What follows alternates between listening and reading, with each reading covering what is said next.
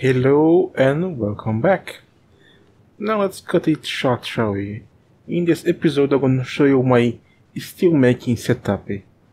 For those who have watched my previous episode, you should watch again because the base of the setup here is the same one using the the sensor and the hoppers to send the items. But now let's talk about the differences. First here we have the thermometer to the temperature of the alloying of the steel. So it's only put when it is steel, not iron or wrought iron. We, have, we have a change. We have a change of the sensor of weight of, of grams to kilos.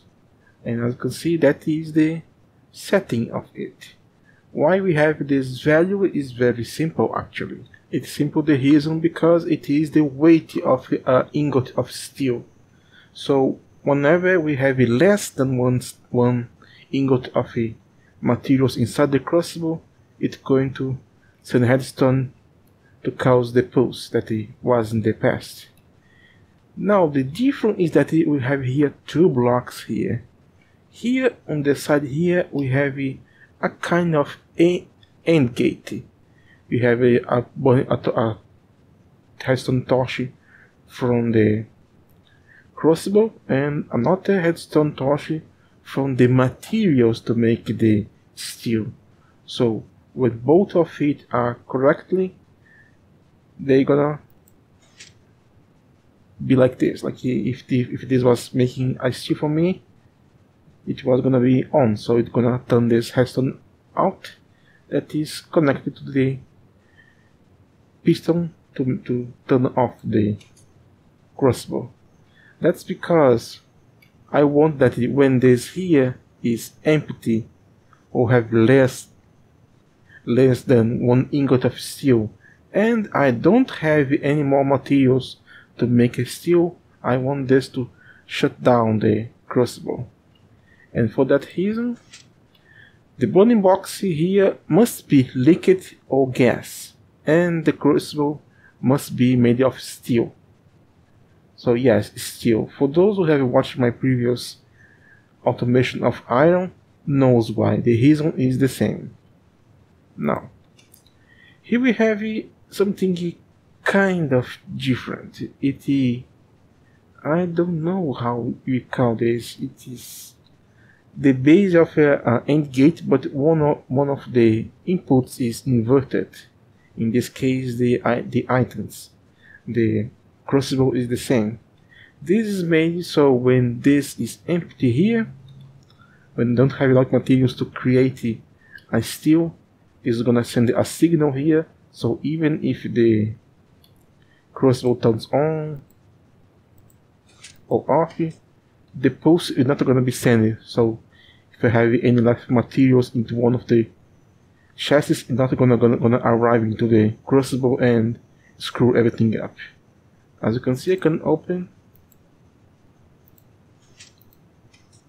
I can open and close this as much as I, I, I want, and but the pulse not gonna happen.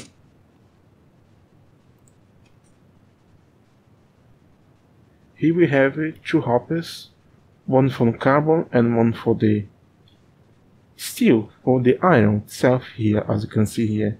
And here we have the item sensors which one if you have less than one carbon or less than 50 iron to make the steel send the redstone signal and stop this. This is why it is closed down because those things here are empty. And yes we have here two hoppers because when the hopper is receiving the redstone signal to prevent it from sending items into the pipe it also stops it from getting items from the top from the chassis on the top.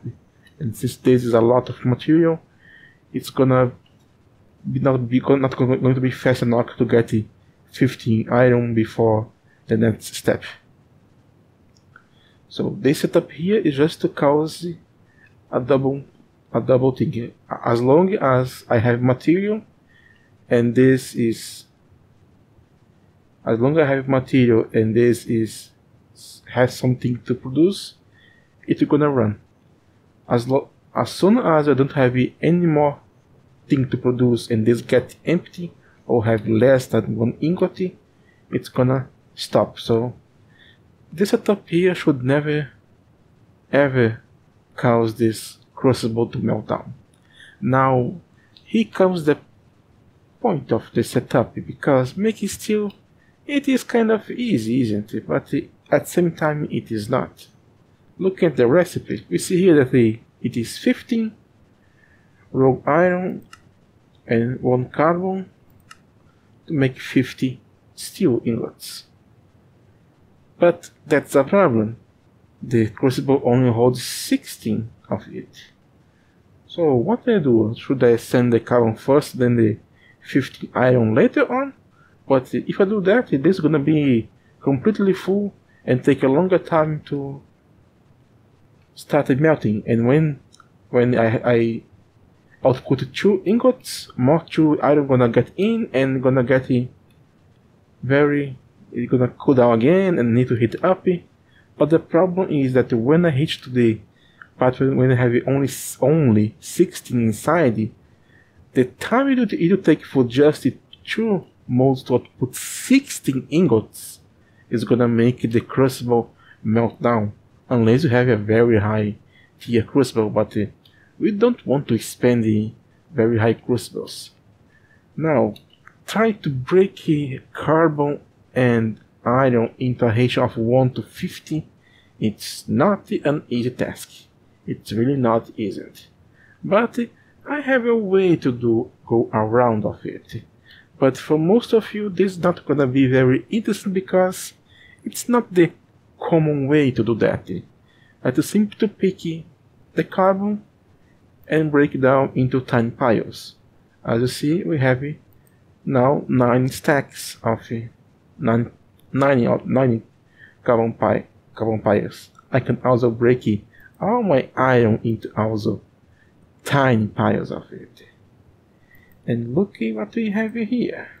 50 iron breaking in exactly 450 tiny piles of iron dust. So we now have 9 stacks of 15 iron dust and 9 carbon dusts. So we have an actual percent hatcher to send to the crucible. This is the only G this is the setup here.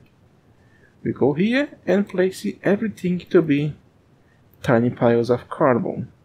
Everything. Everything indeed. I know it's kind of boorish, but it is here. And now we place here all the tiny pile of iron and this is gonna create the exact amount of alloy to work and as you probably saw into the background it causes apples now this crucible here is not empty anymore as you see it has some material on it. 50 tiny piles of iron gonna make about 5 ingots in a and 5 nuggets of it. That's why we have the setup here because the five ingots are gonna be extracted by the molds, but you're gonna have still five nuggets of steel here. But since this gonna send the signal to the system to send more iron and carbon, it's gonna be producing all the way until it gets completely empty. And that that's gonna happen happens only when you have made this setup this send here about 9 times. So this is gonna work all the way. But probably saying, man, but tiny piles, I have to create a system to make the tiny piles of it. Yes, you have. Such is life. You can also use it nuggets because a nugget is a tiny pile of, of is the same value as a tiny pile. So either tiny piles or nuggets of iron. Now let's turn this bad boy up.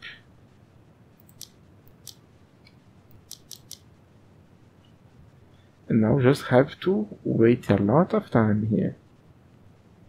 Here you can see that the temperature is rising constantly but not very fast. It is going for about one Kelvin almost every click of it. You're probably gonna say, man, this is slow. Yes, this is slow, but this is also safe. Placing a stronger one here is not a device for a long time. When we have access to electricity and we can use it, electric heaters instead of burning boxes, we can use the ceramic crucible and a lot uh, stronger heating source. But for now, without any kind of automation, this is the way. We are getting close to the 2000 Kelvin and the magic should, should soon starting to happen and you should soon starting to see why I meant by using the crucible of steel. As you see here, the steel is getting being produced and the crucible is still getting up because as it got more empty, it's gonna heat up faster. So using a crucible of steel, make sure that it, it, it is not gonna heat up too much. As you see, the temperature is rising and steel crucible melts down with 2500 Kelvin or even less. So we are close to it. The, there's the four pieces now. The, the 50 piece is gonna get here. It got empty and received empty not. It had less than ingot and now received a new batch of iron and carbon dust to be processed and it is heating up again. So this process go goes on for us as long we have material to run. Let's check here. 5 ingots of steel and if you take a, a closer look into the crucible we can see we have a, a little more of here I it's already past the time isn't it anyway this is my setup to make steel it's not the most impressive one and probably the a system that most of you would not want to use that uses tiny pile of carbon and tiny piles of iron or iron nuggets. And this is going to be it for this episode. This is UNGGod. Thank you for watching.